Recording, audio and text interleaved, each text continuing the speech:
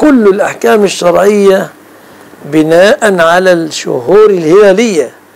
لقول الله تعالى يسألونك عن الأهلة قل هي مواقيت للناس والحج.